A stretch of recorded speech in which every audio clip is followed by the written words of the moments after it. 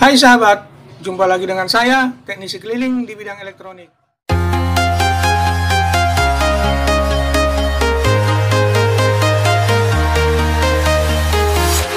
I'm walking alone, the streets are empty.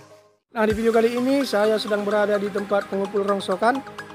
Nah, saya akan mencari bahan-bahan yang bisa saya gunakan dari pengumpul rongsokan, sahabat. Nah, ini rongsokan semua. Bahan apa yang akan saya cari? Silakan Anda tonton video saya ini sampai dengan selesai supaya Anda memahaminya.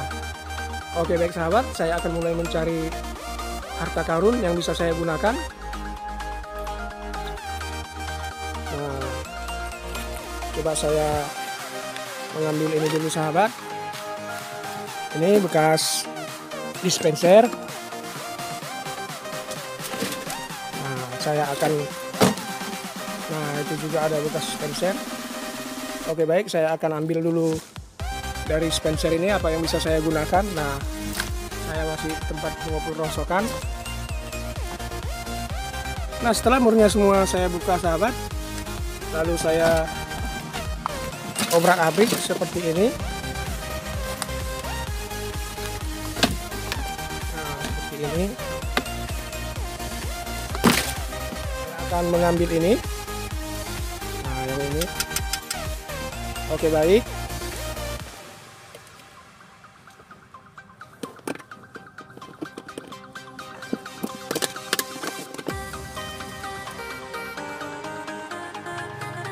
Nah, saya ambil di semua sahabat. Nah, ini.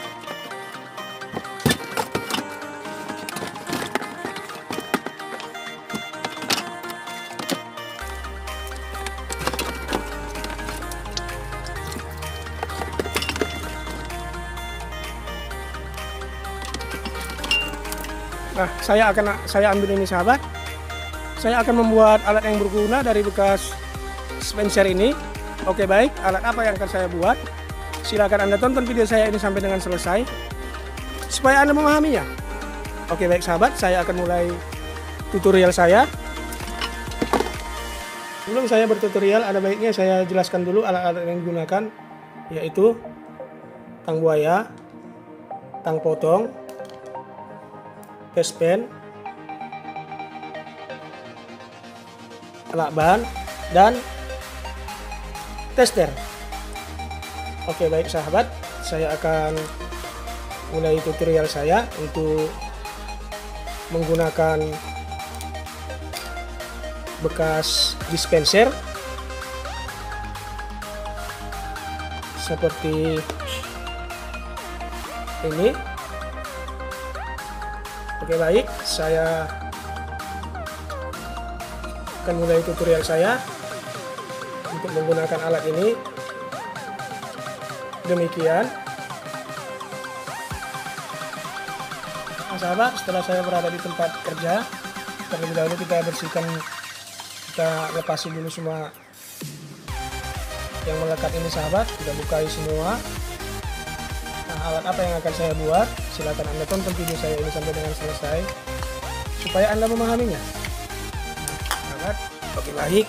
Saya potong dulu semua kabelnya seperti ini.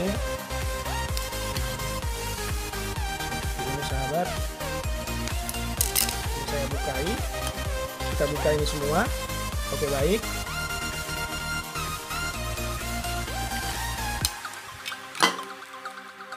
Nah, seperti ini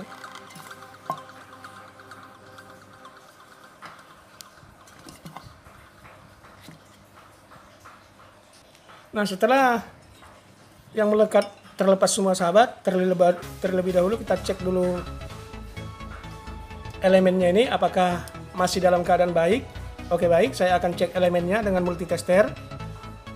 Nah cara ceknya seperti ini sahabat, tester dikali satu. Nah ini adalah elemennya, kita cek. Lihat multitester saya apakah bergerak. Nah kemudian kita yang satu kita lengkapkan ke body alat ini sahabat. Nah jika ber, jika tester jalan berarti sudah kontak nah ini tidak jalan. Masih aman. Nah aman sahabat. Oke baik. Berarti ini bisa kita gunakan. Jadi apa? Oke baik. Nah ini kita tutup sahabat. Kita solder. Dan juga ini boleh dengan menggunakan solder atau atau pakai yang lain. Nah ini dengan kita tutup dengan solder. Dan juga ini nah kebetulan ini terbuat dari stainless sahabat. Tidak lengket jika disolder. Kita dapat menutup ini dengan dengan apa saja penutup penutupnya. Dan juga ini. Oke baik. Nah ini ada colokan sahabat. Kita sambungkan ke elemennya ini seperti ini. Oke baik. Saya akan sambung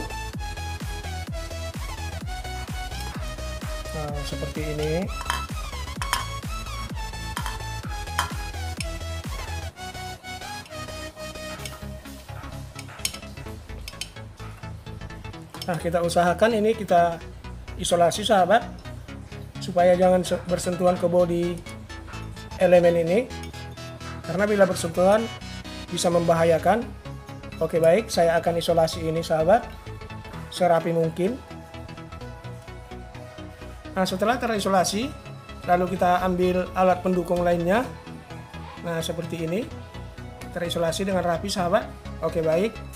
Saya akan ambil alat-alat pendukungnya itu.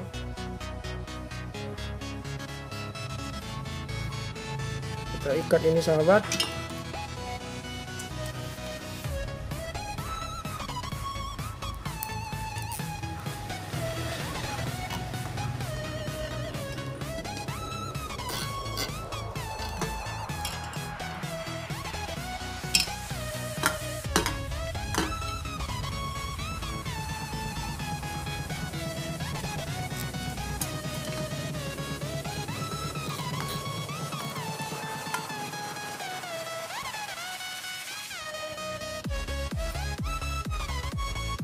Nah kemudian kita ambil selang sebagai alat pendukung. Kita masukkan kemari sahabat. Sebentar saya sinari. Nah kita masukkan kemari selangnya. Nah seperti ini.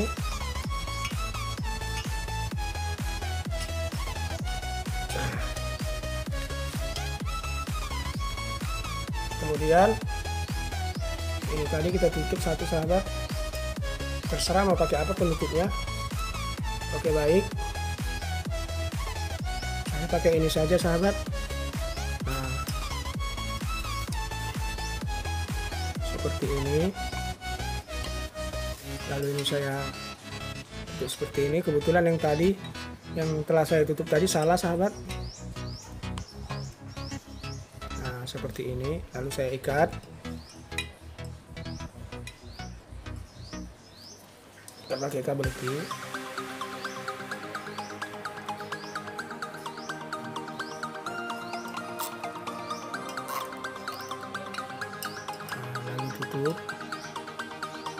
Usahakan jangan ada yang bocor sahabat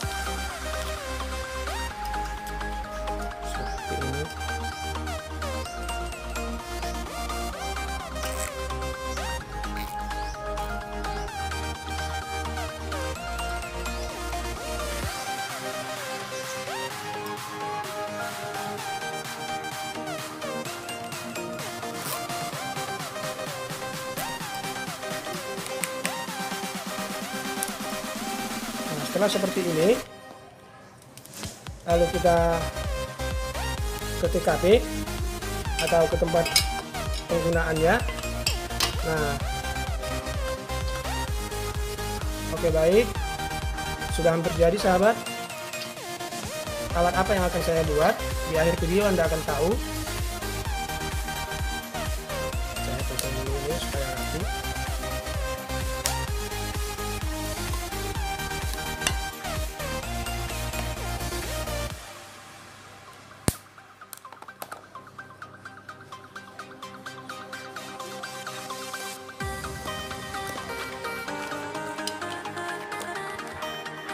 Nah sahabat inilah kegunaan alat tadi. Nah, nah telah saya colokkan ke listrik. Nah, nah penghangat air untuk mandi. Kebetulan saya tidak punya alat untuk mandinya. Saya menggunakan alat cuci motor atau mobil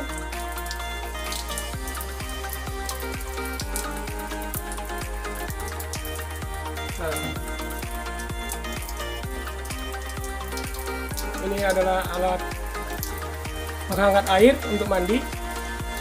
Nah demikian, semoga bermanfaat.